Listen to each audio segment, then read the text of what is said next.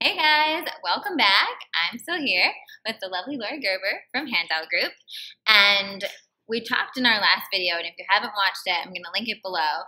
But we talked about personal integrity and how personal integrity is really the foundation, in my opinion, for happiness um, and for all of it, all of our lives, right? Everything we build upon starts with our own personal integrity. So check that out. But one key, key part of personal integrity and to creating a life that lights you up, which is I always talk about that, is getting really clear on what your dream is. Because how can you even go start executing something or make a plan if you don't take the time to actually allow yourself to dream? Yeah, and sometimes we have so much baggage we really don't even want to feel what our hearts might be trying to express. I totally. I think I see that all the time sometimes where people are just actually so scared to admit that they really want that thing they want. I think we all go through that in different areas of our lives. Right. Um, and one of the great things that Laurie teaches and Handel teaches is how to dream effectively. And it's funny because it really parallels, I do a lot of visualization stuff that's really important to me. And when I do any of my guided visualizations and stuff like that, I'm always like, how are you feeling?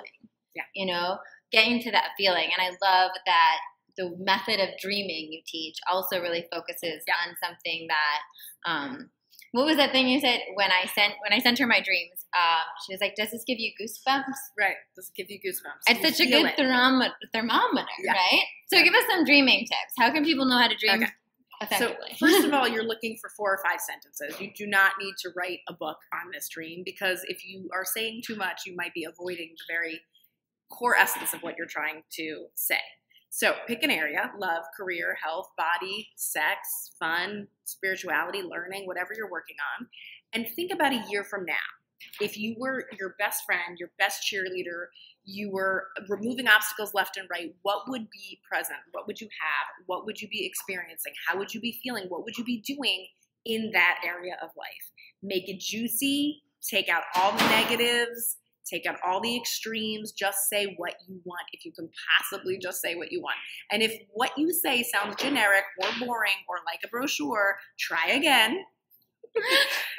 Sometimes we do that. And ask yourself, what do I mean by that? Well, why? Why do I care about that? Until something poetic and delicious and juicy comes out of your mouth, you have not gotten your dream written yet. So you can write and rewrite until when you read that thing, it gives you goosebumps.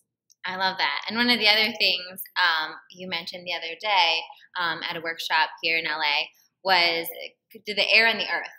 And I really like that because I'm sure that's probably a question you're like, well, am I allowed to say I want to make $30,000 next month or whatever? And it's like, yes, well, let's talk about how you how that makes you feel and like what does that look like? Right. What is you making $30,000? How does that mean you interacting with the world? But then you can slip that into Yeah, little- Exactly. You want, the, you want the right balance between how it feels and what you're experiencing, and then you do want to anchor it with a few specifics. So always make sure there are a few specifics in there along with the broad generalizations. Amazing. And how often do you recommend looking at your dream? At least once a year, you rewrite them and then look at them daily or weekly at a minimum. I love them. Put them in your meditation nook. Make it part of your morning ritual every day with your tea or your coffee. You just take a minute to just say your dream out loud. Just honor it. Exactly. Magic. Most important thing. Most important thing. the most important thing. Yeah. Thank you so much. I hope you guys are excited to write out your dreams and do that right now.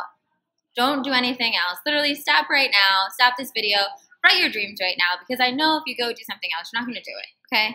And then if you haven't watched our other video on personal integrity, you're going to not want to miss that because it's super, super important. It goes along with everything we talked about here. And then there's just one more video for now. I'll probably harass her to do way more in the future um, on a really game changing thing that really helped my happiness level skyrocket. So you're not going to want to miss that. Check the links below and don't forget to subscribe. Mwah! Bye, guys.